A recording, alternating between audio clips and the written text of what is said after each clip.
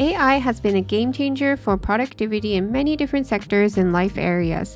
Notion just released one of its biggest Notion AI updates, which greatly improves usability and allows Notion AI to stand out from other AI tools.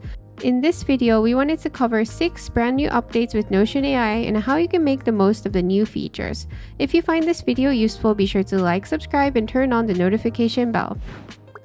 The first update we wanted to cover is the new Notion AI connectors. So previously, Slack was one of the only ones where you could actually use Notion AI to look through your Slack messages and things like that. But now you can also access your Google Docs, slides, and sheets. In order to use your connection, you can go to your Notion AI on the bottom corner. And if you go to these three dots here, and you go to connect Slack or connect Google Drive, you can see the things that have been connected here. So if you add more connected tools, they're going to show up here. So if you have your Google Sheets, your Google Slides connected, you can also access it here. Once you have that connected, for example, with Slack, you can just click this one and it's going to ask that you can connect this and we're going to go ahead and connect and it's actually going to ask for permissions so you're going to have to accept these. And once you've connected this it's going to ask which channels you want to connect. So you can just do all public channels connect. So to connect Google Drive, you would do the same and all your other Google Sheets or slides, you would need to connect it first through your settings. And inside your settings, if you go to connections, you can see everything you've connected, including other areas you can connect. So if you browse all of your connections in gallery, you can choose the ones that you want to connect. Once it's connected, you can go to the three dots here and then click the app you want to connect. For example, with Slack, it's going to take up to 36 hours for this to start working, and it's also in beta mode, so it might not be the most reliable, but this is such a great first step towards actually being able to use Notion as an all in one tool. Just to give a sample of what this can do, as you can see in Notion's own information about the new AI connectors, you can basically ask it for information and it's going to scan through your Notion, your Slack, your Google Drive, and anything else that you've connected to give you a answer on the question you've asked. And according to this, GitHub Jira and more are coming soon, which makes us really excited about the future possibilities of using this as a really true all in one AI tool. So, the next major update we wanted to discuss is that you can generate and edit docs in your own style. So, what this means is that let's say that you type slash page, and this is your style and tone guidelines that you want everyone in your team to follow.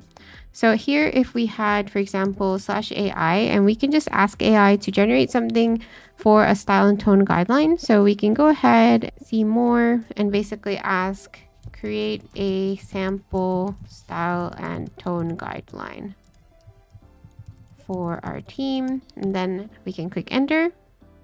So here AI has given us a really nice style and tone guideline. So if we go back, we can now ask AI to reference this while writing a, let's say, a content for Instagram. So let's go ahead and type slash AI and we're going to ask AI to write a short Instagram caption about a new template using the, and then we can do at mention and then style and tone guidelines.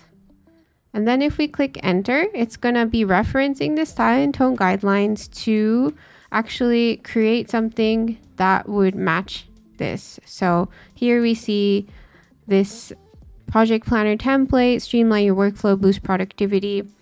Try it now and experience the difference, link in bio. So here they've clearly used the style and tone guidelines here. So it can be really great that you can actually reference different pages so that you're not getting generic answers.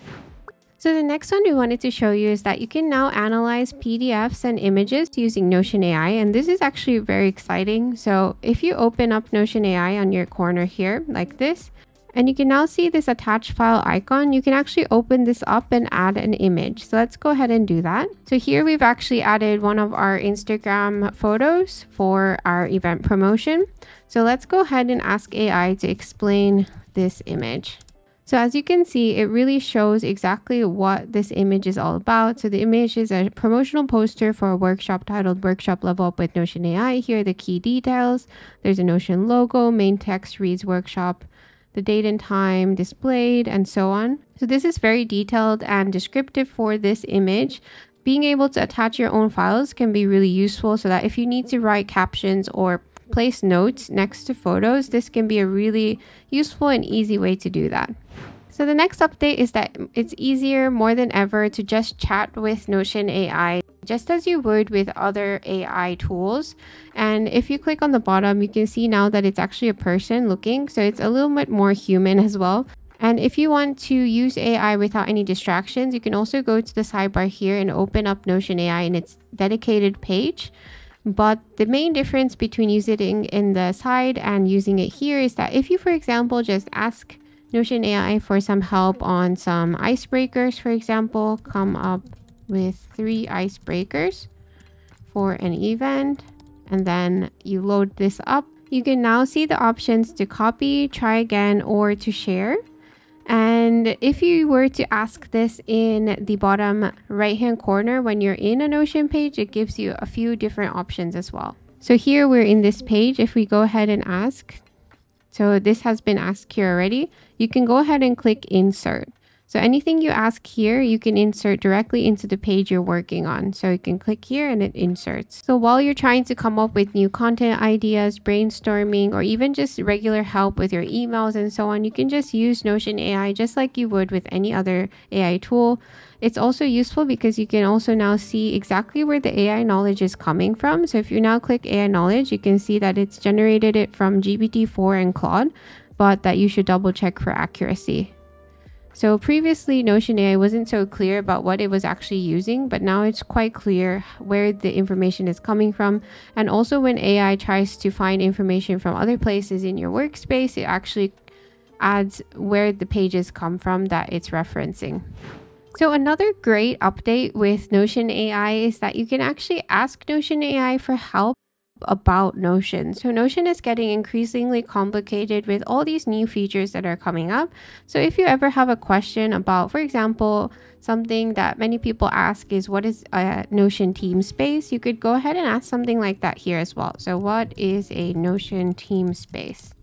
So here it generated about the Notion team space. You can also check these links as well and also see where things are coming from if this is your own information. And some other things you can do when you do this is get Notion support. So this makes it like a help chat as well. So another thing you can do when asking for help to how to use Notion is in this section here, you can choose where the information is coming from.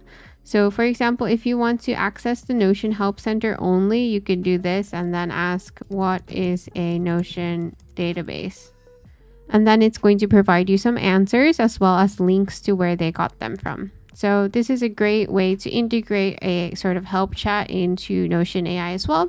So be sure to try that out whenever you have some questions about Notion. And finally, the last update we wanted to mention is that Notion AI has been changed in terms of what it gives you when you highlight text. So it gives you different suggestions based on how you highlight things. So if we highlight Notion AI like this, it's going to show an explain feature, for example. And this is going to help explain what this means inside of here like this.